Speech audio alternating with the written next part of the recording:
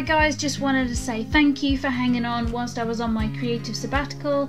Really hope you enjoy this next tutorial for the silky hairstreak butterfly. For this butterfly, gather a load of browns, a red, black, orange, white and yellow. The browns can be your scrap clay, they are my scrap clay, uh, and we're going to layer them. Just make sure that they look a little different from each other so that you get some contrast in your cane. So then we're going to put them through the pasta machine on the thicker setting and we're going to cut them out into little rectangles that we're going to stack later. Now this is for the fuzzy, furry, hairy bit on the bottom wing. Um, I don't know what to call it. Anyway, we're going to make that. Uh, so to get that effect, we're going to layer these squares of brown. Doesn't need to be a lot of clay here. Uh, I overestimated the amount that I used, um, so just use however much you think is right. Once you've cut all the pieces, then you want to stack them and stack them in a random order and slightly off center. This will just create a more uh, random kind of looking cane because we're trying to imitate fur, which is quite difficult to imitate because obviously fur goes this way and that, it doesn't go in straight lines as such. So we're just layering the clay to try and imitate a little bit of a little bit of fuzz, if you like.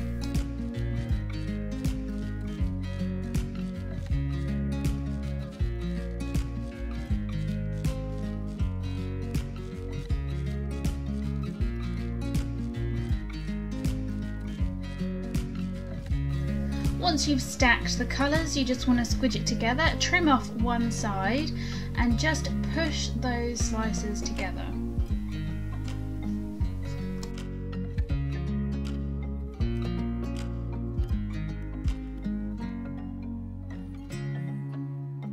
At this point it doesn't have to be particularly neat, uh, but just make sure that all the pieces are stuck together and then you can start to reduce it a little bit so that you get the length in the cane that we're going to use later.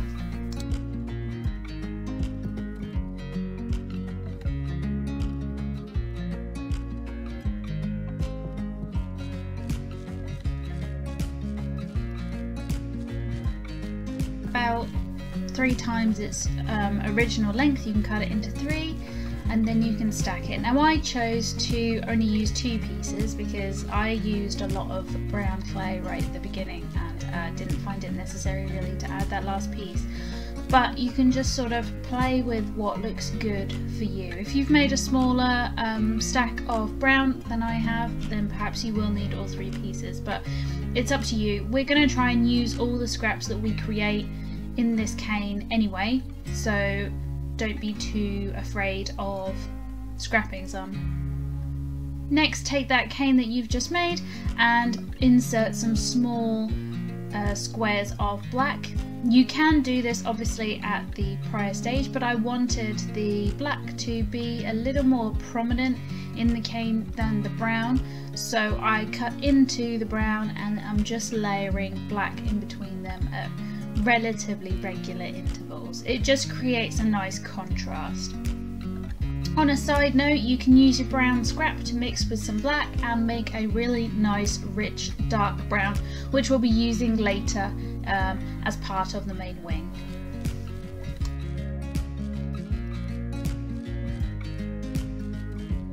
Okay, so take the fuzzy, hairy, furry, whatever cane and just give it a good smoosh. You want to shape it so that it is sort of a triangle with soft edges um, and make it so that it's about the height of your cane.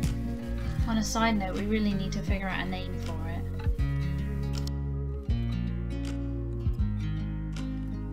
So next we're going to deal with the main feature, that's the beautiful orange flashes. So roll out your yellow, your orange and your red on your thickest pasta machine setting. Then we're going to dive in and cut the orange. So I cut the orange into a long rectangular shape. Then I cut it into two and I used a flexible blade to create a curved line in one piece. I stuck that curved piece next to the square and decided I wanted a deeper cut into the orange. I then nicked off a little corner for the red. Uh, don't underestimate the amount of red when you're putting red into a Skinner blend. Honestly, it will change the colour so quickly. A little bit goes a long way, trust me. And you can always change it later on. You can always add more colour. You can never take it away. So just be wary of that.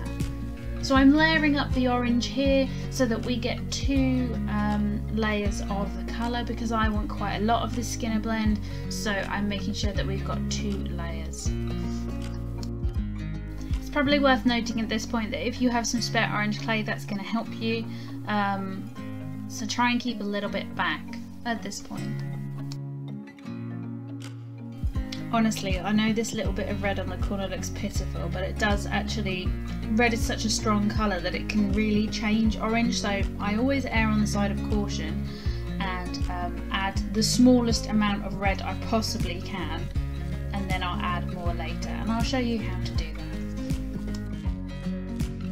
that. So once you've got all your lovely pieces, push them all together, like knit the bits together so that they don't come apart by pushing with your forefingers along the seams um, and then you'll be running it through the pasta machine on the thicker setting first and then folding from top to bottom. So you always want the orange down one side, that's what I'm pointing at, and the yellow down the other side. And again, you just want to keep folding it the same way. And here I will show you how the colours start to bleed through. You can see there that the orange has started to come through into the yellow, so I'm folding it again and putting it through the pasta machine. And this is the whole point of the Skinner blend. It creates a gradient from the darker colour to a lighter colour, or between colours. You can make a beautiful rainbow gradient um, if you so wish. So can you see here that orange isn't quite as contrasting to the other part of orange as I would like, so I'm just adding a little bit of red, like little spots of red, just to create a little bit more contrast in that top part. We're going to be using this blend for both the bottom and the top wing, so I kind of just want to make sure the blend is what I want. As you can see here, the top part is now a better contrast, which is what I'm looking for. So I just neaten up the gradient and then we're going to fold it so that we have a sort of um, a regular kind of tape, which has the same length all the way down. Then we're going to put that through the pasta machine on the thicker setting and then gradually decrease the setting so you get a long thin tape. Tend to cut it in two because I find it unwieldy otherwise.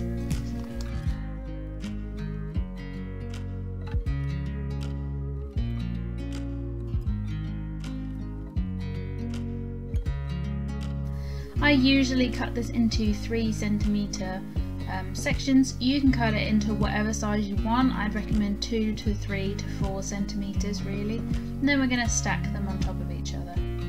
If you do any less than 2 centimeters, I find that it gets really difficult to shape. So I would probably cut it at 3. I'm just using my uh, flexible blade underneath the clay to lift it from the glass um, mat that I work on because it can stick now we need a bit of darker orange to finish off the blend so I've just added to any remaining orange I had a little bit more red and you can see I'm adding really tiny spots really. I'm going to run it through the pasta machine a few times and then I'll decide if that's too dark, too light and I will carry on. One thing to note when you are mixing colours is white and black will to an extent light and darken but they'll also take away from the hue so you'll end up with something that looks washed out whereas if you add colours that are similar that are slightly darker or richer like a red to an orange it will make a darker orange. So this lovely juicy hue that I've just mixed we're just going to stick it on the bottom of the stack uh, just to increase the amount of orange there is in there and then we're going to pat it down, squeeze it down, make sure all the air is out and cut it in two so that we have the paler section which is going to be the top in the top part of the wing and the darker section which will be in the bottom part of the wing. So the top section has a sort of, it's kind of a teardrop but but sort of a long teardrop so you haven't got that sort of circular shape at the top, it's sort of elongated um, and it's a little bit messy. So what I'm trying to do here is try and recreate that shape. Um, and then we kind of want to size up all the elements. Now this is quite difficult when you have multiple elements in a butterfly wing, but I find that perhaps if you make the top wing and then you make the bottom wing, that can make it a little bit easier. But I'm trying to shape here so that I kind of get an idea of where things are on the wing because I need the orange splots to sort of flow from top to bottom, as in from the top wing to the bottom wing. So here I rolled out that really dark brown that I told you to mix earlier. I mixed a lot whilst I was making this to be fair. Um, and that's going to form the majority of the rest of the wing. So that will be the tip of the wing, that will be the edge of the wing. So for the top wing, you want to make yourself sort of a, a triangle shape where obviously the tip of the triangle is going to go toward the body and the rounder bit is going to go toward the outer wing. And then we're going to try and fit it to this lovely orange yellow shape that we've made. We want to make it irregular, so I'm using my needle tool here and also my the rolling handle on my X-Acto knife to sort of make those curves so that the lines aren't exactly straight. Don't like straight lines on a butterfly. Occasionally a vein is fine, but not often. Curved or irregular is better. Um, what I did want to do though, rather than having a straight line there, is make the illusion of the brown bleeding into the yellow and orange. So I'm making these grooves with my needle tool, which we're then going to fill with very small sausages of brown. And then when we stick the yellow orange part back to that big brown part, and when we've reduced it, it will look like that brown is actually bleeding into the orange yellow bit, and it's not just a piece of clay that we've stuck in. Whilst I have this yellow bit, you'll also notice there is a spot right in that in that top bit so I've just made a small incision with my X-Acto knife made the area round with my needle tool and then I'm just using a little bit of brown clay to fill in the gaps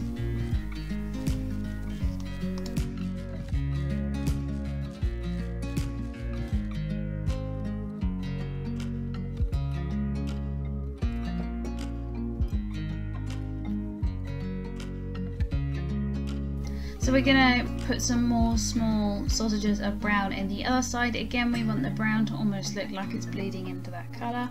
But we are going to build up the rest of the wing from this angle as well using the sausage technique um, or the snake technique, whatever you want to call it. Um, and you're going to roll out some dark brown into thicker snakes because there's quite a lot of wing to make here and just uh, pop it on the edge of the orange. Now have a look at the reference here because the proportion is that the back end of the wing is actually larger, has, has more brown in it than the bit on the inner wing. So try and build it up and adjust as necessary. Uh, I tend to sort of start with a shape that I like and then I'll look at the reference and adjust where I need to. You can always cut bits off, that's absolutely fine, as long as you're maintaining the shape of the wing that you are trying to make.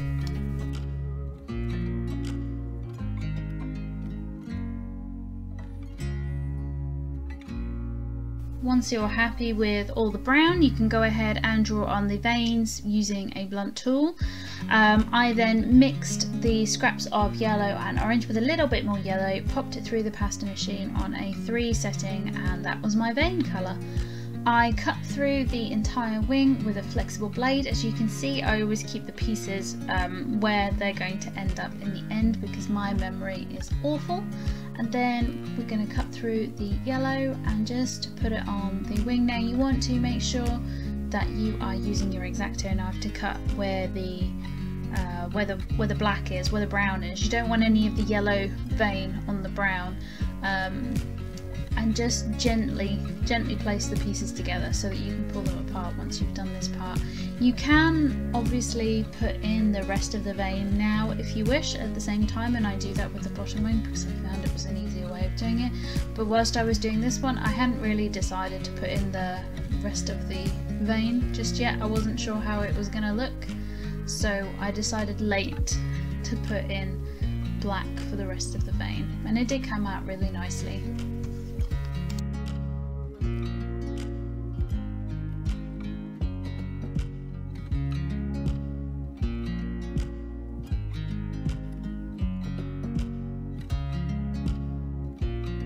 Okay, so now I've made the decision to put the black parts into the wing. So I've gently just pulled apart my wing and I'm just going to put some black in. Again on a 3 setting I'm just going to gently insert it into the places where there is no yellow so that's every part that's got a brown part of wing.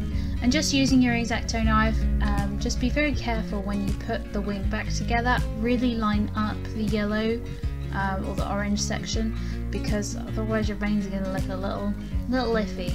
Um, you don't want it to look too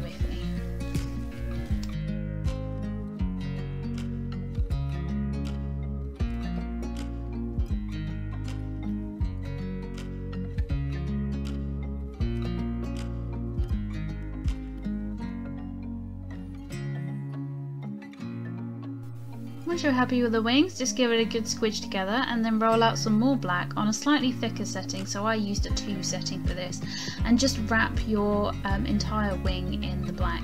I ran out of black here, which is why I've sort of done three quarters of the wing, and then I'm going to go back and just fill in the rest. I always find wrapping the entire wing gives it a really neat finish. It just looks nice.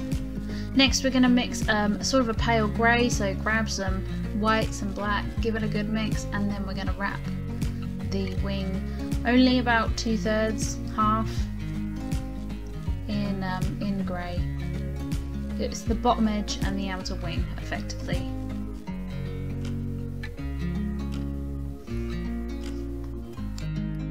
And that's the top wing done. So grab the other elements that we did earlier. That's the fuzzy bit and the orange section at this point, I decided that the elements I made were too big in comparison to the top wing. So I did some trimming, I did some reshaping, and that's absolutely fine. The most important thing with a butterfly cane is not necessarily the colour. Like you could make a monarch cane and you could make it blue and green if you wanted to, but the way that it's recognisable is in the shape of the element. So it's got a monarch has those beautiful sections in the top wing that are very outlined in very thick black and it's got those lovely white dots down the side. Um, there are similar butterflies like a viceroy is very similar but the monarch is more distinctive because the, the, the sections of colour are bigger. So you really need to make the sections of colour the size and shape of the butterfly, regardless of what colour they are really. So again, I'm happy with the orange shape that I've finally got it into. So I'm making it look like the brown is bleeding into the orange by using the needle tool to create some grooves and then putting in some very small snakes of brown. I'm then going to push it onto the fuzzy bit. I don't know what we're calling it, let's just call it the fuzzy bit and um, and then squish it down so that we haven't got any air bubbles. You can see that the orange section sort of loops under the fuzzy bit a little bit so make sure you have that because that's the edge of the wing effectively. There's also some brown spots in the orange bit in the bottom of it, so make sure that you are sticking some sausages of brown in there. I use my needle tool, I use my X-Acto knife to create an incision first on some of them um, and then stick them in. But again, you want variations, so there'll be a small one and a couple of really big ones. Um, so make sure you're getting that kind of variation so to prove to you guys that I get it wrong too, I didn't like the shape of the orange here when I compared it to my reference. So I took some orange that we'd made earlier and just added it onto the cane. It doesn't matter so much because the gradient cane isn't as uh, contrasting. It's not different colours, it is basically just dark orange to a lighter orange. So you can add those extra bits on and then I want to make it look like it's bleeding into the next bit of brown so again I'm making grooves with my needle tool and then I'm just going to make some small sausages to fill in the gaps.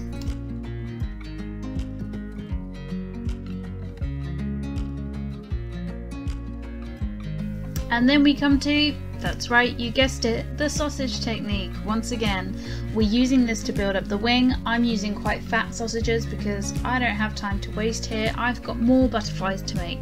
So I'm just gonna stick them on, try and get the shape that I want, and then really squidge it down. Then it's time to add some veins to this one as well. Now I found these ones quite difficult to cut because there's sort of a circular one in the middle.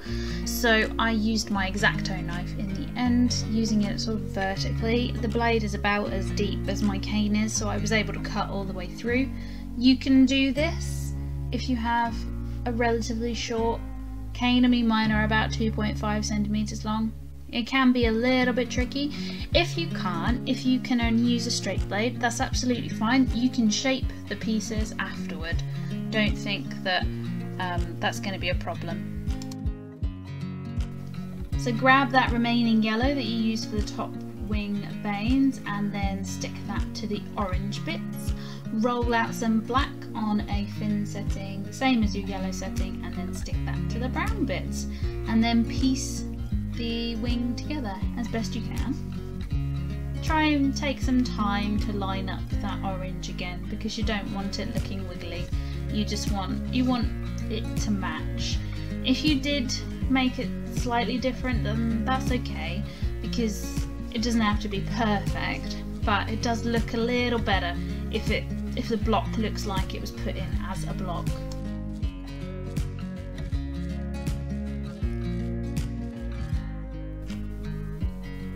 So, did I mention earlier that I have the memory of a fish?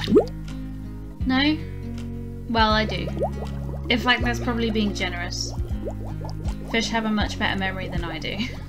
Trust me. So, I completely forgot how this piece stuck on. I really did, and I couldn't figure it out. So what I did instead was I put it where I thought it should go and then took a little piece out of the brown section of cane to make it fit. Uh, it wasn't the most elegant of ways of doing it, but it does show you that my planning doesn't always work. Uh, neither does my brain, and um, there are always ways around it. So if you mess up, don't worry about it, it's not a big deal, you can usually fix it.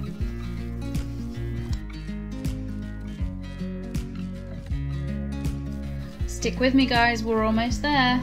Roll out some black on a 3 setting and wrap the entire bottom cane in the black. This will give it a really nice line.